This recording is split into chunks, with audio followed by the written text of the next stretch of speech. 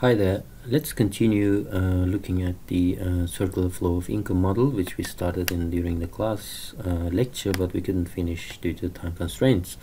So if you remember it was a simple model where two agents exist in the economy. The first ones are the market uh, sector um, firms or factories or farms or this industrial sector I should say in this case. So this is the market and households now there is no government in the economy. It's only households versus firms. Now the firms are the producers of goods and services and also employers of factors of production. Uh, households are consumers of the goods that are produced by the firms and also the suppliers of factors of production. Consumers demand the goods and services provided by the firms or the market, so CD. D stands for domestic, so consumption of domestically produced goods. In return, the firms pay uh, wages, uh, rent, and also other payments for uh, supply or for the supply of uh, goods and services. Remember, the first supply, the, the households are suppliers. So the households, the people, in other words, work for the firms here. They also rent out their land, capital, and also they buy shares of the firm. In return, payments flow back to the people here, households, yeah, in simple words. So this is a very simple, simplistic model of the economy. And I guess it's quite clear now, yeah? So economy is just made up of two agents without the government intervention or third agents or third or fourth agents. So the consumption of goods and services, so the, uh, the households consume goods and services of the firm, firm is in return, employ and uh, pay for the supplies of uh, factors of production. Labor oh sorry labor land capital. Capital equipment could be any in any form houses warehouses factories. These are all owned by the households. So it's a it's a sort of self-sustaining uh, kind of circle flow of income in this case. So income flows back. Income goes out from households flows back. So it's exactly the, the, the same amount is just flowing within the economy it is possible that the the not not exactly amount um, will be circulated but uh, by the way this this question we I asked this so I'm gonna skip that for now. Uh, answer is just below here. You can stop and read the answer if you want but uh, just wanted to I wanted to continue with the with the model here. So if I remember I was talking about the payments not being equal basically the uh, the the facts of payments, for example, we might receive a pound here as a, as a household, but then we may not uh, spend all the pound on consumer goods because there is the uh, the third agent, banks or financial markets. We might want to save part of our income from the from the factory, for example. Yeah, we might put it into bank account and save it also, net savings could also be negative in the sense that it might flow backwards in the sense in, in the form of loans, yeah? But in this simple model, let's assume that savings flowing to the banks, and then banks do not usually keep our cash in their accounts, they just invest them in firms again. So the money is withdrawn and is also injected back into the economy. So the green uh, line here represents the injection of cash from the economy. So the red line shows the withdrawal of the cash uh, from the economy in the form of savings and uh, banks then uh, obviously retain the cash if they wish to. They could invest it outside the economy. That implies basically that means basically complete outflow of the cash from the economy but they might as well in, inject or in the form of investment put the money into the factories back into the factories so they could be buying the shares of the business or lending out for uh, building new factories. So the withdrawn cash, at least part of it will be injected back into the economy. Now, government, when it participates, its role is to tax and regulate. When when we receive income, we pay part of the income as tax. Remember, national insurance, the tax, corporate tax, or the self-employed tax, employment tax, all of these go into the government's uh, budget. Now, it is also possible that the arrow goes backwards because our government may as well pay divid uh, benefits but then usually we expect the net taxes to be positive going into government in the form of tax revenues. Now government doesn't usually keep the cash in its accounts again. It actually uses part of it or all of it, even more than that, to to for example build roads. And to build roads, they they will use make use of the factories or firms services, or they might build uh, buildings, uh, houses, or many other public uh, amenities. For example, you think of NHS, to build NHS, government uses uh, private constructors, and the tax money that we pay will be used to pay for these services and goods. So again, the part of the withdrawn cash here in the form of net taxes will go back in the form of uh, expenditure or investment into the firms again. So we have that uh, withdrawals converted to injections here.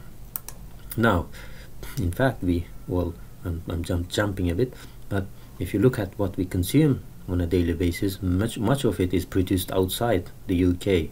So part of our income goes into import expenditure abroad. So the TV you have in your living room comes from China.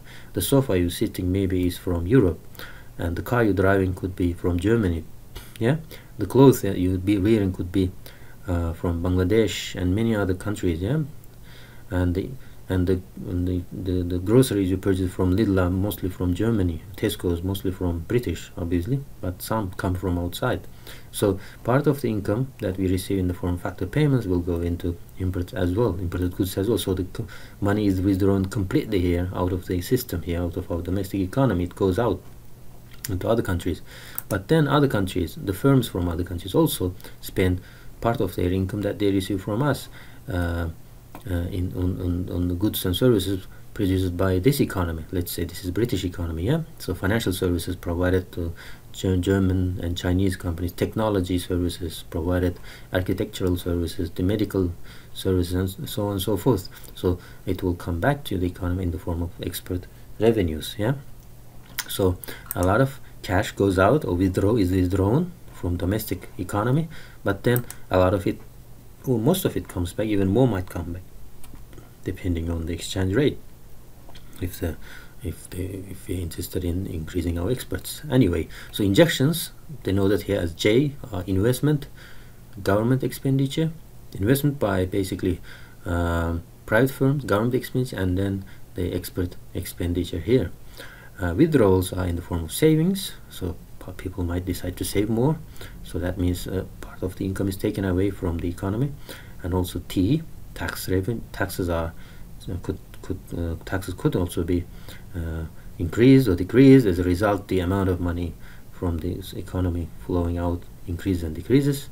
And also we might also buy or will in fact we buy a lot of goods and services from outside the economy. So these are all withdrawals withdrawals in the sense that this some of the cash will be taken out from the from the economic system the, the circle of motion here you know, will be taken out. So in fact, CD is probably much of it is is is is um, is, is because of the income or the goods and services that we uh, well in in the sense that CD at the moment it just represents the local economy goods and services, the consumed goods and services that are produced by the domestically domestic firms. But CD will be very small amount compared to the import expenditure that we have, the, the amount that we import and uh, and consume is larger these days. In the past, in 70s and 80s, CD was the greatest amount. Um, a large, large fraction of our demand would be CD, but in these days, much of our, well, it's it's a characteristic of developed economies that imports become cheaper. As a result, we consume more imported goods. Anyway, so this is just a, a simple or sing, a simple model of uh, circle uh, flow of income of an economy. Now, if you remember, we, I, I talked about savings being uh, investments in the end. In other words, we save, banks invest back into the system via financial institutions. Yeah. Um, well, that's the link between savings and investments. Taxation is linked uh, through government expenditure to the economy. For example, taxation is a form of withdrawal of the cash but then it comes back in the form of government expenditure and also input goods and services takes away our income, part of our income, but then part of it comes back again in the form of exports, which is missing here. So that's kind of link between the injections and withdrawals. And if when they are equal, obviously we'll have that J equals W here, the equilibrium in the circle of flow. But it may not be the case always, and in fact it is the case that we always have either J being greater or W being greater here. So that's because decision to save, for example, is is made by one agent and investment decisions are made by, the, uh, by another agent. So we might invest 100 pounds into a bank or save in a, in a bank, but then bank might decide only spend to, to invest uh, 50 pounds of it into the economy, yeah? and then they might decide to keep the, another 50 in their bank accounts. Yeah, that's the possibility. As a result, we have this equilibrium here where savings are greater than the investments. So a lot of more, more money is, is taken away from the economy than in, invested in the economy. Government might as well decide to run a budget surplus. In other words, increase the taxation, keep the keep much of the tax in there as a revenue, uh, keep it in the budget, but do not spend this uh, this year, for example, and that implies the low amount of injections and high amount of withdrawals yeah? But in the equilibrium well what that's what happens here in in real in real life. Governments or the the economy tends towards the equilibrating point. That's when the injections equal withdrawals. But it mightn't be the case. In that case what happens? Well let's assume the case here that the injections are greater than withdrawals. This is when more money is invested than withdrawn there will definitely then be an uh, increase in aggregate demand. That's because level of expenditure rises. So for example, if the green is greater here than the red lines here, red red uh, red uh, figures, that means the firms then uh, is, uh, are selling more because export expenditure implies greater demand for exported goods from us, so we produce and sell more. Government expenditure means government is using firms to build houses and whatever they want maybe NHS, maybe high-speed rail, maybe bridges, maybe canals and things like this. So greater demand and also investment implies the firm is able to build extra capacity so it can hire more people. So employment will increase. Uh, the firm pay out well uh, wages, greater wages. So factor payments in increase. As a result, with the factor payments increases the national income. That implies we're consuming more and at the same time we're saving more yeah at the same time. So as we save more obviously with the high income we're also paying more taxes. And again with high income we're buying more imported goods. As a result withdrawals in increase. And as this circle motion continues in this form the, the withdrawals eventually equal the injections. So as I said the economy tends to this point where J equals W. So eventually that's what happens withdrawals equal the uh, injections now, this takes some time, however, it doesn't really happen overnight. This circular motion will have to undergo a lot of sort of movements on a, on a monthly basis. Imagine how, how much money will be paid, how much is kept here. This, it, this is the, what, what, how, it, how it works in reality. So factor payments occur every month, for example, in terms of wages, every month in terms of installment payments on mortgages and capital rents and borrowings and things like this, yeah? Now, what happens uh, to the economy then as a result? Well, we have the economic growth increasing with this uh, acceleration in the in the flow of income or money from uh, income and money are not the same things but we'll, I'll leave it for now so economic growth increases rate of economic growth increases unemployment declines because we have higher amount of employing or the accelerated economy that implies we need more uh, labor to work in the factories and and then as a result what happens is that as we as the firms see that the, the demand for their goods they raise the prices so inflation increases and also because of the active uh, growth in economic activity exchange rate strengthens. In other words the currency uh, becomes stronger. British for example pound becomes stronger because the economy is strong going strong. And that means high uh, low exchange rates in other words a strongly british pound implies we can purchase more uh, uh, I shouldn't say low it should be high exchange rate if you're looking at the pound to US dollar. For example US dollar might be it might be the case that one pound is two US dollars then we demand more goods and services from from the US if it's the about with the euro or Chinese yuan then obviously we demand more uh, goods and services from these countries. Given that we have higher exchange rate related to their currencies. So so our currency is valued strongly in other words relative to their theirs. As a result this withdrawal also increases as well.